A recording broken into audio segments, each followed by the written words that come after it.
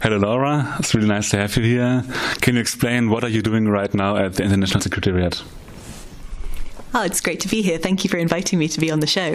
Uh, so, my role at Amnesty is I am based in the International Secretariat in London, and I am the researcher and advisor on sexual orientation and gender identity, which means I am the, the person at Amnesty who researches the rights of lesbian, gay, bisexual, transgender, and intersex people around the world. That sounds really amazing. You have a lot of upcoming campaigns. Can you talk a bit more about what you're going to do there? Mm. Yeah, I can talk a little bit about what we are planning to do over the next year. Um, my current priority project is I am working on a project on researching the rights of intersex people in Germany and also in Denmark. Um, and I can talk a little bit more about that if, if you would like.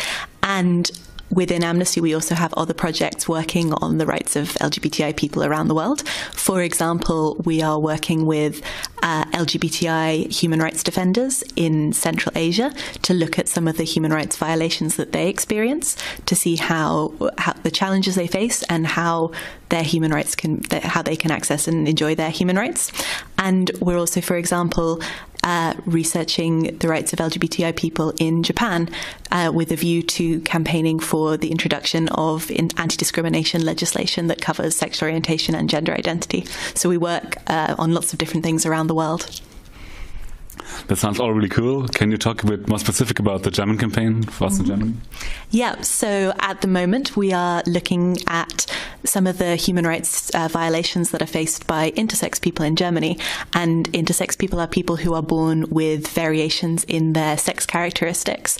And we we know we are currently carrying out research to find out what, um, particularly looking at the medical treatment that these individuals have been subjected to, often as children, and looking at some of the ways in which they have been.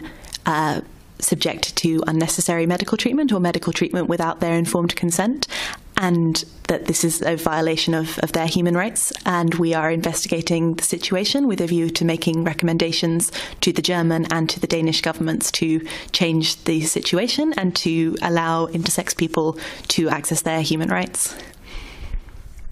Thank you very much. And you're currently in Germany to do research about the campaign. How's your approach? How do you do that? Yes, so I have spent uh, the last uh, week and a half uh, traveling to different German cities to speak to different people who've been affected by this issue. So I have interviewed intersex people, I have interviewed activists who are campaigning for the rights of intersex people. Uh, I've spoken to peer supporters who work with intersex people who are facing many challenges. And I've also been speaking with doctors and medical professionals and physicians who have been working with intersex people to find out what is happening right now in Germany. And I have been interviewing them and researching the situation uh, with a view to documenting my findings in a report that will form the basis of Amnesty's campaigns on these issues. Okay. Thank you very much for the interview. It was really nice to have you here. Thank you so much. Thank you.